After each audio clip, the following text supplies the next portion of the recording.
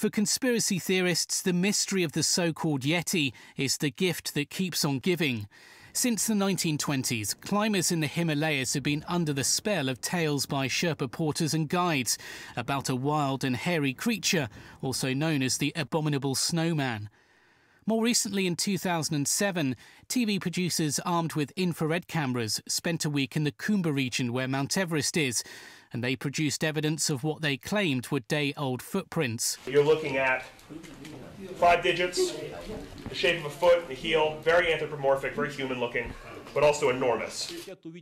In 2011, scientists and Yeti enthusiasts came together and said they were sure the creature lived in Siberia.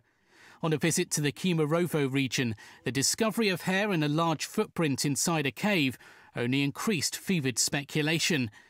Now, fresh research is tackling the Yeti mystery. Professor of Human Genetics Bryan Sykes studied hairs from two unknown animals found in the Himalayan regions 800 miles apart.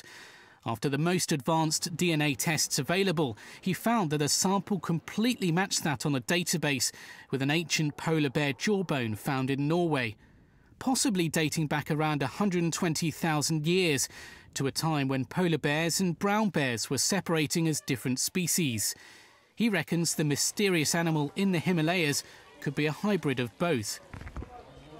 The research mirrors that of mountaineer Reinhold Messner, who found a 300 year old Tibetan manuscript saying the Yeti was a variety of bear.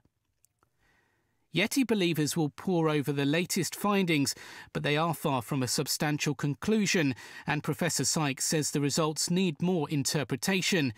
Enthusiasts may oblige, but for how long can the search be for footprints before the next step needs to be looking for bones?